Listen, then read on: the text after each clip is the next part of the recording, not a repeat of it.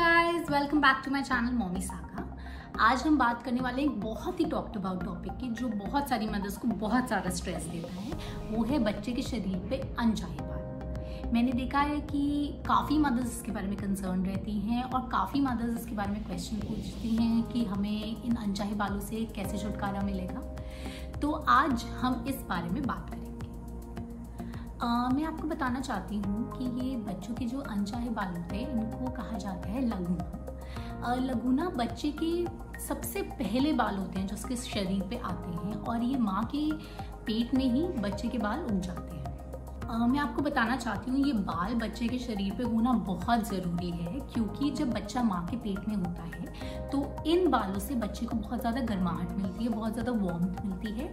और दूसरा ये जो बाल हैं ये एक ऐसा हार्मोन रिलीज़ करते हैं जिससे कि बच्चे की ग्रोथ बहुत बढ़िया होती है। ये बाल ये जनरली माँ के पेट में ही झड़ जाते हैं पर कुछ बच्चों के लिए नहीं झड़ते जैसे प्री मेच्योर बेबीज़ के लिए।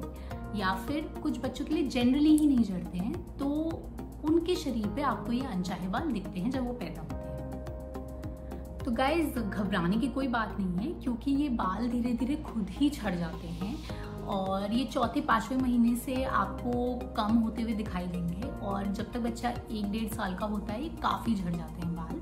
अगर इन केस आपको फिर भी लगता है कि नहीं, मुझे कुछ करना चाहिए अपनी तरफ़ से तो मैं आपको तीन नुस्खे बताऊँगी जो बहुत ही सिंपल हैं और आप उनको ज़रूर आजमाइए क्योंकि ये बहुत इफ़ेक्टिव भी है।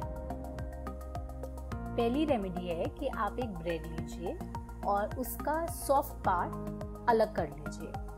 आप ब्रेड कोई भी यूज़ कर सकते हैं ब्राउन ब्रेड यूज़ कर सकते हैं वाइट ब्रेड यूज़ कर सकते हैं। फिर आप एक से दो चम्मच उसमें दूध ऐड करेंगे। जब आप उसमें दूध ऐड करेंगे तो आप उसको अच्छे से मिक्स करें, पर ध्यान रखें उसको सौगी ना बनाएँ। आप उसको मिक्स करके उसका एक छोटी सी बॉल फॉर्म में कर लीजिए। जब आप उसको बॉल फॉर्म में बना लेंगे तो आप बच्चे के जो बाल हैं, उसकी ऑपोजिट डायरेक्शन में उसको अच्छे से रगड़िए।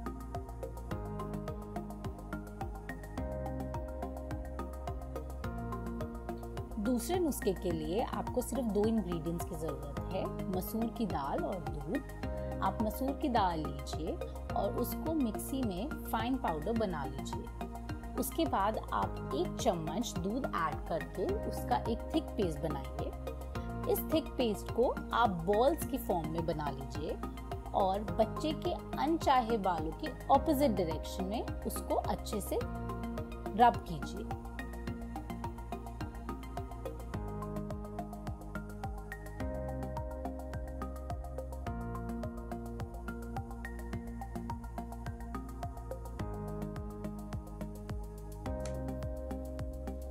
तीसरे नुस्खे के लिए आप आटा लीजिए और देसी घी लीजिए। इन दोनों को आप अच्छे से मिक्स कर लीजिए।